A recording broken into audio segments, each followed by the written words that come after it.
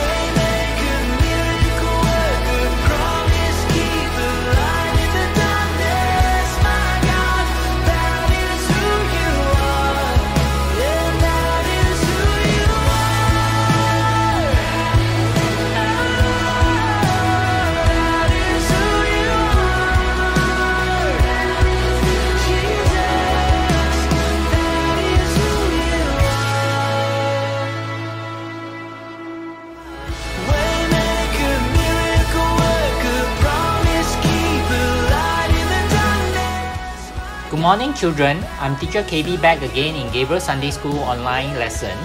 Today I'll be teaching on a very special topic called Our Father. Alright? So, why this lesson? Many children might be thinking or might have already know the answer. But anyway, a month ago, if you could recall, we celebrated Mother's Day, right? So today we will be celebrating Father's Day. As you could know, it's a very important day because being a dad is just as important as being a mom. Daddy has to go out to work and then come back home late and sustain the family, right? So, why? As I've spoken just on the previous slide, that share the responsibility of providing a nice home for us. And also, daddy reads bedtime story for us, even though he comes home very late at night and very tired. Also, dad is always there when we get into trouble. Although he might scold us, but he's always there for us because he loves us. So the fact is, that bears an extra burden because he is the one Bible used to teach us how God loves us. The Bible called God our Heavenly Father. Today we shall read just what kind of a father our God really is. Shall we start? Our Heavenly Father is a loving Father.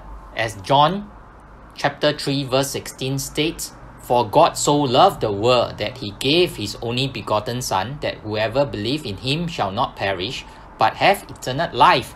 Children, you remember? God loved the world that he gave his only son, Jesus, to redeem our sin.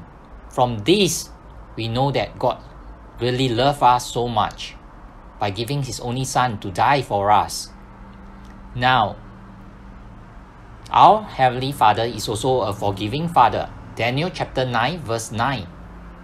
To the Lord our God belongs compassion and forgiveness, for we have rebelled against him. No matter how much we are rebellious, God always has compassion and will always forgive us so long as we repent of our sin. Our Heavenly Father will never leave us alone. Joshua chapter 1 verse 5 stated, No man shall be able to stand before you all the days of your life, just as I have been with Moses. I will be with you. I will not fail you or forsake you. This is a very powerful and wonderful verse that Teacher KB liked. I will never fail you or forsake you, even in times of troubles or difficulties. Our Heavenly Father is also our helper. Hebrew chapter 13 verse 6 stated, So that we confidently said, The Lord is my helper, I will not be afraid what will man do to me. There's nothing impossible for God, because God is almighty and He will always help us through. As in the next slide, our Heavenly Father, He's almighty, He's very, very powerful. Jeremiah chapter 32, verse 27 stated, Behold, I am the Lord, the God of all flesh. Is anything too difficult for me? Yes, there's nothing difficult for God. So, in summary, our Heavenly Father is a loving Father, a forgiving Father, a Father that never forsake or leave us, a Father that help us always, an Almighty Father, a powerful Father. Isn't that great? To have such a Father? Yes, it is. So, being a father is a never easy task. Therefore, we want to say thank you, Father God, for being our daddy, right? We should appreciate Heavenly Father for being our Heavenly Father, for being our daddy. Now, children, I would like to share a verse with you, and I hope everyone will recite with me before this lesson's end. It's from Ephesians chapter 6, verse 1. Ephesians chapter 6, verse 1 stated, Children, obey your parents in the Lord, for this is right. Alright? We should always obey our parents, for this is only right. Alright? So, happy Father's Day. Children, after this lesson, just go to daddy and say thank you and happy Father's Day. Alright? Now, let's pray. Father in heaven, we'd like to thank you for being our Heavenly Father, for showing so much love and always helping us and never forsake us. And Father, we'd like to thank you for this special day, which is Father's Day, for our physical father, for their hard work, and for their love for us and the family. In all this, we give thanks and pray in Jesus' name. Amen. Lastly, let's recite the Lord's Prayer. Our Father, who art in heaven, hallowed be thy name. Thy kingdom come, thy will be done on earth as in is in heaven. Give us this day our daily bread, and forgive us our trespasses, as we forgive those who trespass against us. And lead us not into temptation, but deliver us from evil. For thy is the kingdom, the power, and the glory forever and ever. Amen. Bye, children. Children, let us remember to put aside all our offerings for God in an envelope. When we come back to church, we can put everything in the offering basket. Alright? See you, children.